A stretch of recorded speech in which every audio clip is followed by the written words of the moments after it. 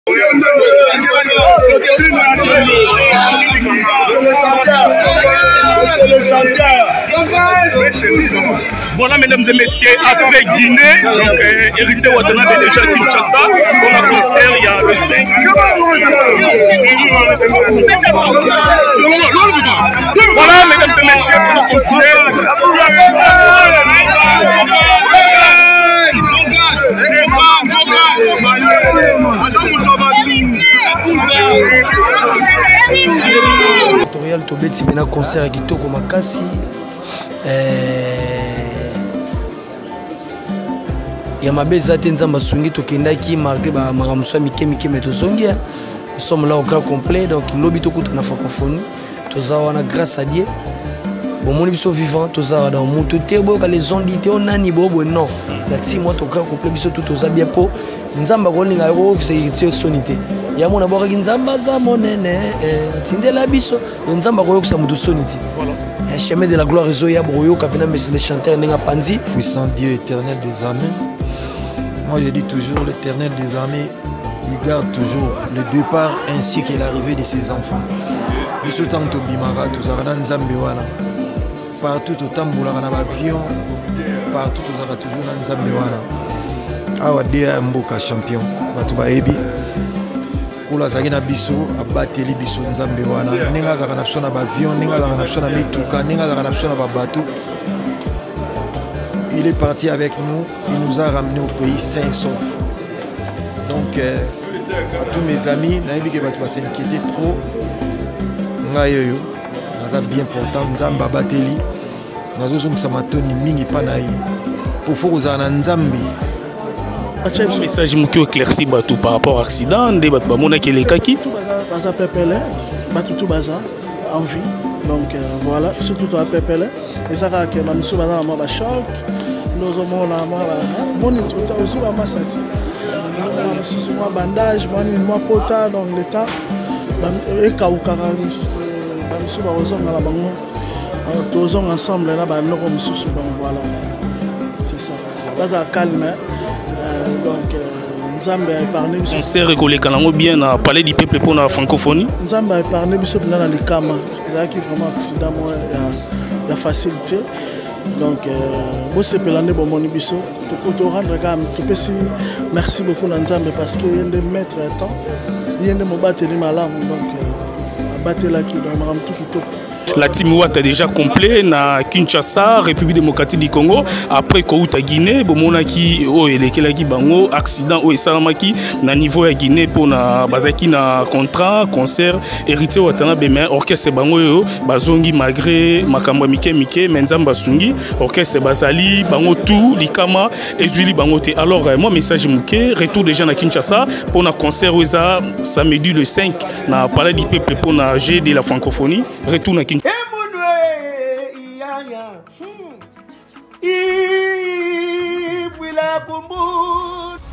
lobi tokutana na dijon le 5 le 5 le 5 naa na kati ya dijon bele na dijon boya kocomprendre force ya bill kinton etikala pa bersi emona parce que apesa ngai deja makambo nazalaki kabuya nalingaka kobete na panzi te mpo mabe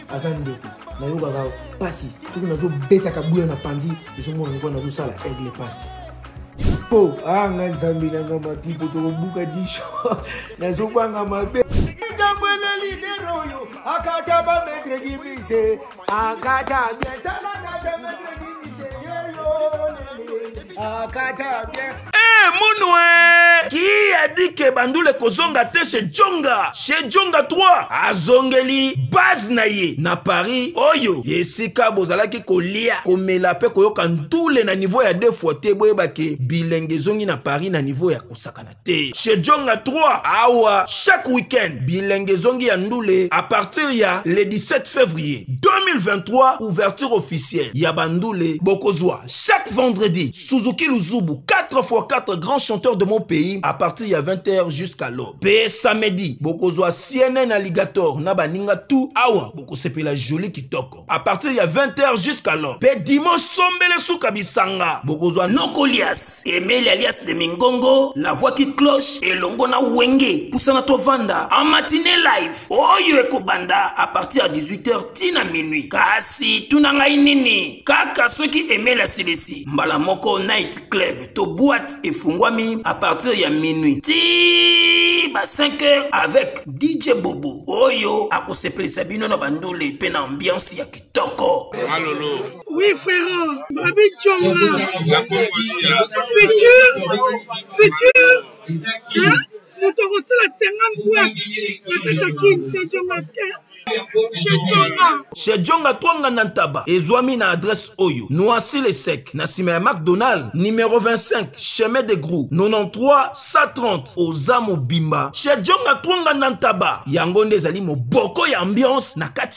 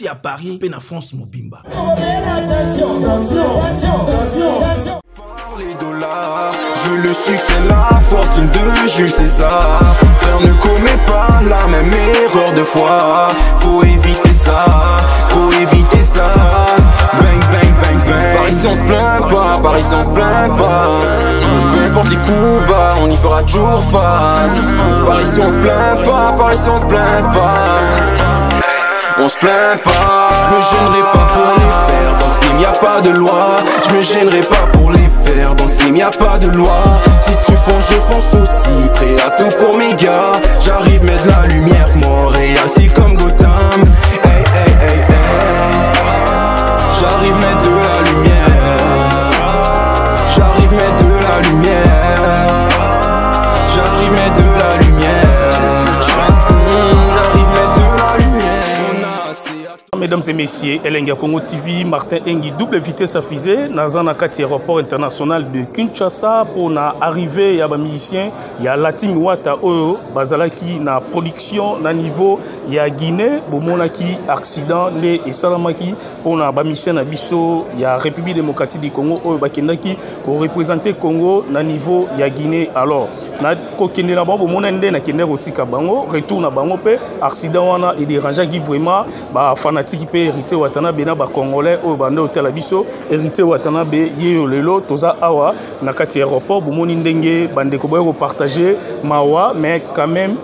ça va donc nzambe asungi donc quand même te ça va nzambe asungi bamusicien ya latin wata likama mabe ekomeli bango te donc eh, à part moi ba malaise ya mike mike mais rendez-vous bazongi mbango awa balandi traitement na bango kitoko mpo na concert ya le 5 août donc eh, samedi le 5 déjà concert ekobetama na palais du peuple déjà lobi mpo na jeu de la francophonie héritier watanabe tour de contrôle ndenge baartiste musicien misusu babetaki après héritier mpe bamisien misusu mpe bakobeta mpo na culture ya mboka na biso ngai nazalaka na mpona kosunga toujours kosoutenir baartiste émission baosala mosala bango kitoko toza a en aéroport international héritier watanabe na orchestre momba la team après kouta guinée accident bazongi déjà république démocratique du congo merci na bandeko nyonso bobengi biso partout dans le monde fredi ndongala irlandais flat hotel les irlandais napesi yo bambote place ozali merci mpe na cynthia don makese balobi flat hotel dondasi na petro congo bapartement eza mpo na bino merci mpe na bos leon manaja flat hotel leon manaja na point main gile na masina wana mama eh, la princesse arlette aza wana mpo na bino arlette manzongani mpo na salon de coiffure ya vip merci mpe na ladi mfumu mokonzi ya loste motema ya mama arlette mfumu azotala biso pourquoi pas na eloise mopatas napesi yo bambote place ozali merci na bino tu jimi cimanga oyo bozotala biso bandeko ebele oyo bozobenga martin engi héritier wata na belatim wata deja bango oyo bazali merci elenge ya congo tv wawawawa biso oyo deja tozongi toada na guinée bandeko bango oyo donc eh, baye mpena avec fox avec fox nzambe aza bolingo yango donc eh, sans nzambe maatro sans nzambe nde mobulu nde kaka balobaka tokutana bongo demain le 5 na jeu de francophonie wana donc na palais du peuple boye ebele boye ebele baspiritas totonda wana boyoka musique ya la team wata ya kozala nosa boyoka baanimation donc tobina tosepela donc peps voilà alors euh, bandeko ebele oyo bamona mpenza par rapport ya accident oyo esalamaki na niveau ya guinée bafanatike ya la team wata héritier watanabe ba spectacles ba se déranger qui n'ont vraiment alors moi message mouké ambulance pe azali à retour déjà na Kinshasa ko uta Guinée bozongi déjà na Kinshasa équatorial to beti pena concert kitoko makasi euh ya mabe eza te nzambe asungi tokendaki malgré makambo mosusu ya mike mike mai tozongi hein. nous sommes là au grand complet donc lobi tokutana francophonie toza wana grâce à dieu bomoni biso vivant tozala na moto te boyoka les ondi te o nani boboye non na ti mwa tokoka kople biso tu toza bien mpo nzambe akolinga yo kokokisa heritier soni te ya mona bwakaki nzambe aza monene eh, tindela biso do nzambe akoyokisa moto soni te eh, chemin de la gloire ezoya bokoyoka mpena monsieur le chanteur ndenge apanzi mm. merci na pasteur joel makoba merci na mame elise papa kanda merci na euh, gelor sabo emarke mikombe baleine excellence krasan sakala merci na mm, trésor madrid merci na labelo de paris merci merci merci merci merci na baspiritas tout merci euh, merci donc euh, na mama ya bitu ye patisaki biso na babondeli merci merci yona bilikambo nini na wata mwana mama bitu e donc prière ya mama merci na mama sideji mampata ya mama paster donc euh, merci na bato tout de la team wata okrab complet tozawa lobi towana francophonie bokoyoka mais le chanteur akopanza baanimateur mare dioyo de l'année avec chandoa tokopanza mwa bashoka mike mike meza eloko ti déjà ya kolobela eza te donc je eza bien voilà merci merci na elisabeth radisha napesi merci na platini menga gile menga babengaki moni so na soutenir napesi bango merci te mm. mambo emonaka tala kaka napesi merci na pepichoka bongo ligue de jeune merci na bato tout merci suna martin yo moko merci double brassard mm. merci beaucoup eh, double vitesse nga abenga double brassard eh. eh, moninga odre lusolo ok merci vraiment elengi ya congo tv merci bomoni la team wata déjà complet na kinshasa république démocratique du congo après kouta guinée bomonaki oyo oh, elekelaki bango accident oyo oh, esalamaki na niveau ya guinée mpona bazalaki na contrat concert héritier watanabe mais orchestre bango oyo bazongi malgré makambo ya mike mike me nzambe asungi orchestre bazali bango tout likama ezwili bango te alors euh, moi message moke retour déjà na kinshasa mpo na concert oyo eza samedi le 5 na palais du peuple mpo na g de la francophonie retour na kinshasa merci beaucoup na tout puissant dieu éternel des amen Moi, je dis toujours, l'éternel des armées, il garde toujours le départ ainsi que l'arrivée de ses enfants. biso ntango tobimaka tozalaka na nzambe wana partout totambolaka na baavion partout tozalaka toujours na nzambe wana awa de ya mboka champion bato bayebi kolo azalaki na biso abateli biso nzambe wana ndenge azalaka na biso na baavion ndenge azalaka na biso na mituka ndenge azalaka na biso na babato Il est parti avec nous, il nous a ramené au pays sain et sauf. Donc, euh, à tous mes amis, nayebi que bato ba s'inquiéter trop. Ngai oyo, naza bien portant, nzambe abateli. Nazozongisa matoni mingi pa na ye. Pour faut kozala na nzambe mpona koexperimente bamiracle ya boye donc ce dieu là a été avec nous azalaka toujours na biso epuis akozalazala toujours na biso merci beaucoup dieu père tout puissant éternel des armées nzambe ya baorphelin nzambe abatelaki biso mpo biso likambo na moto te donc eh, bafane tout bazala bien dea na bango ye toza bien Merci beaucoup Martin Engi, double vitesse affisée et Lenga Congo TV. Nous sommes toujours à l'aéroport international de Kinshasa pour nous voir orchestre Mobimba, il y a la team Wata, qui na production na niveau il y a Guinée donc euh, Bolanda qui au Bomonaki na ba image pour na accident esalamaki mpo na bartis ya mission na biso ya république démocratique du congo oyo bakendaki kobundela mboka bakendaki kobundela rdc libanda ya guinée mpo na production bazwaki donc eh, nzambe asungi bango en tout cas likama moko ya mabe ezwi ye na musicien moko te retour déjà awa na kinshasa mpo na kopréparer concert eh, le 5 août eh, samedi na palais du peuple oyo ezali mpo na jeu de la francophonie héritier watanabe donc azali déjà awa na kinshasa bomoni la team wata donc euh, awa na kati ya aéroport international de kinshasa martin engi double vitesse afise double vitesse afise molobeli na bino oyo asalaka mosala na ye bien mpo na respect ya baartiste ya musicien ya république démocratique du congo alors euh, bomoni mpe arkeli bomoni bamusicien bazali déjà nde bose dérangeaki mpo na baartiste ya musicien na biso bango oyo déjà bazali awa na aéroport euh, bonsoir arkeli Mon message muke déjà Kinshasa après kouta Guinée donc euh, na accident oyo tomonaki ba fanatique ba se dérangeaki nango lelo bozongi Kinshasa mon message muke message ezaka nzambe aza malamu on est bien portant malgré ba collègues mosusu baza mwa ba choc le temps va se rétablir demain bayaka rebele francophonie quoi ba ebele tokosepela komona bango ebele donc bayoka la pulga eza déjà bacontrat signé donc on peut pas donc on doit jouer voilà voilà vite fait na, na remercie kaka bato tu batya biso message moki éclairci bato par rapport accident nde bato bamonaki elekaki baza pepele bato tu baza en vie donc euh, voilà surtout toya pepele eza kaka ke bamisusu baza na mwa bachoc nozomona moni ozwi bamasa ti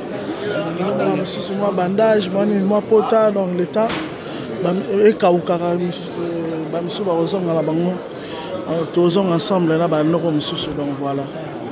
c'est ça bazala calme euh, donc nzambe aépargne biso concert ekoleka nango bien na palais du peuple mpo na francophonie nzambe aépargne biso mpenza na likama ezalaki vraiment accident moko ya ya facile te donc euh, bosepela nde bomoni biso torendre kaka topesi merci beaucoup na nzambe parce que ye nde maître ya temps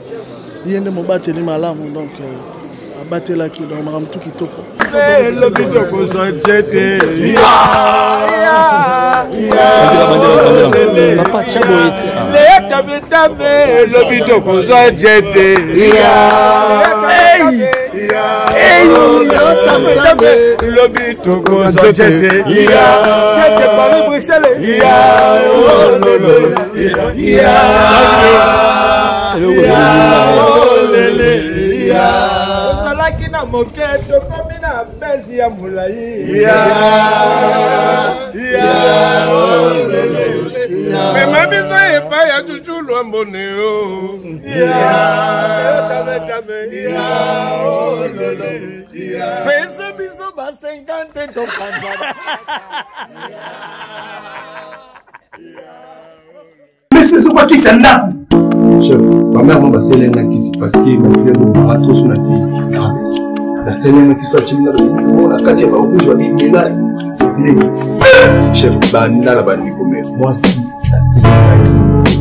inane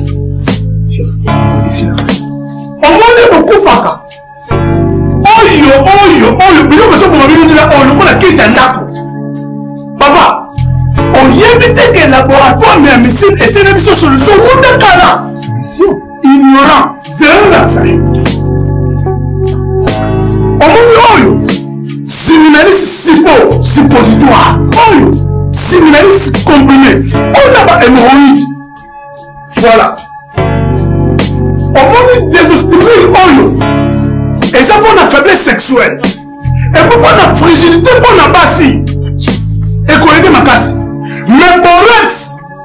soki osisi traitement nyonso tu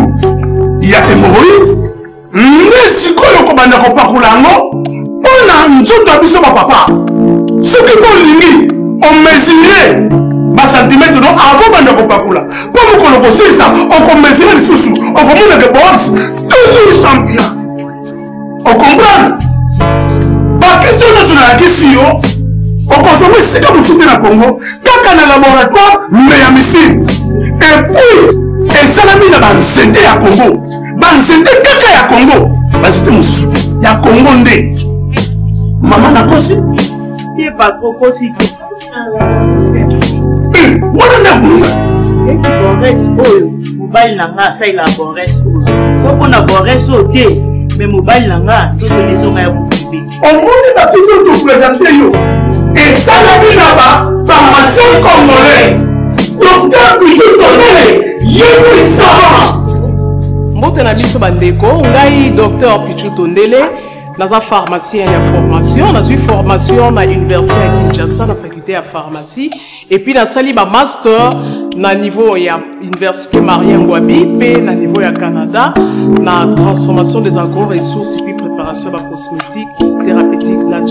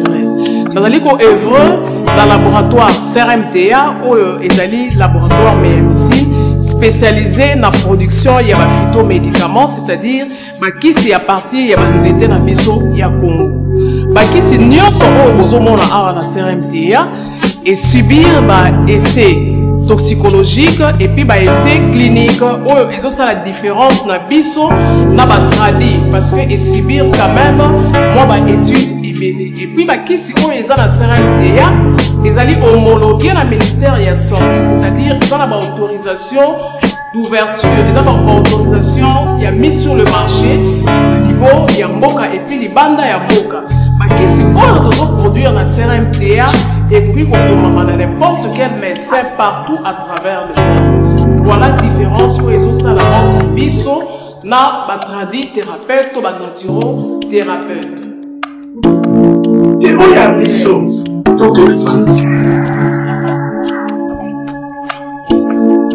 awa na laboratoire ya misiri docteur pichu tondele ye nde sava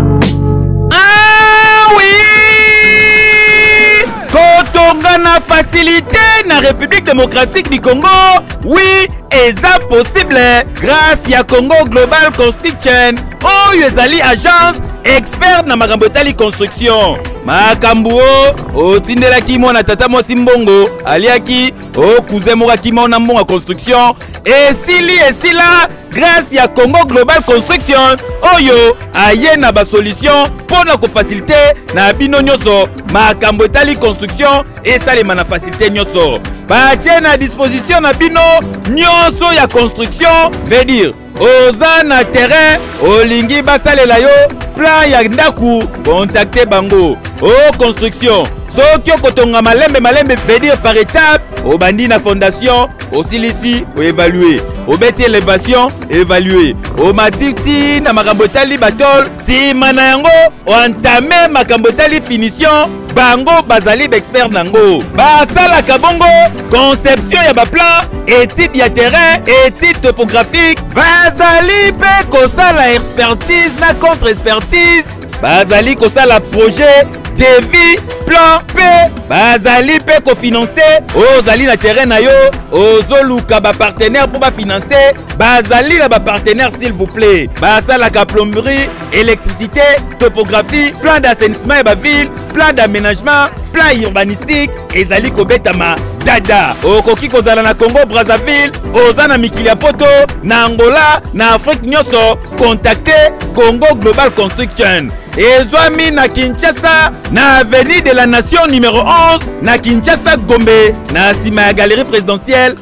oza mobimba ekeyo oui tokutana kaka lobi na francophonie quoi voilà merci voilà merci vraiment martin engi double vitesse affisée eh, elengi ya congo tv toujours na aéroport awa bomoni bafanatique bato baza telema ebele mpona eh, bato basambela mpo na bino quand même moi napesi euh, merci mpona baprière cédrik flash Smart Osenga, chef du cartel, Jimmy Belaou, Jimmy Belaou, le boss. Donc, euh, pendant qu'Atala Sheraton, Josmar Levo Savimi. Donc, Batoutou, quoi.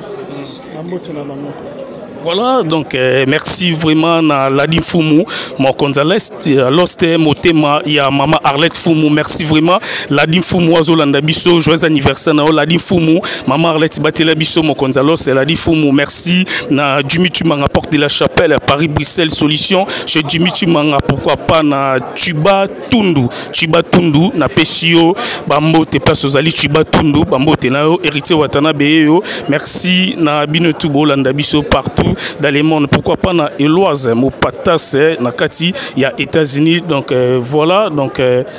ba image ndenge bandeko baye mpo bazwa la team wato orchestre mobimba déjà awa na kinshasa donc euh, par rapport ya accident bomonaki wana bientôt kaka donc euh, le 5 euh, août samedi na palais du peuple martin engi déjà na confirmé bino déjà orchestre mobimba baza déjà awa na héritier watanabe merci